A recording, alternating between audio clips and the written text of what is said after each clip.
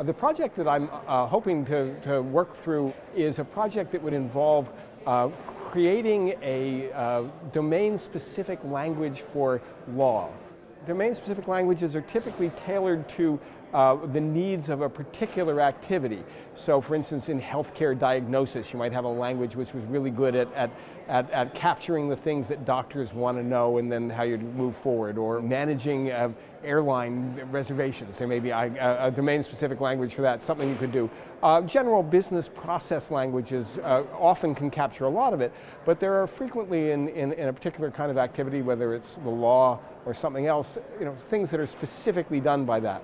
we have already, in a sense, used language, uh, natural language, as I say, to extract rules from our moral intuitions. And we, we, we, when you look at a statute book, it's full of, of, of, of careful statements about what, they, what the statute is aimed at, embodying the tests for that kind of moral statement about what people ought to do and what they ought not to do. So what would happen is that increasingly we would be able to unleash the power of computing on specifying and then obeying and then uh, uh, uh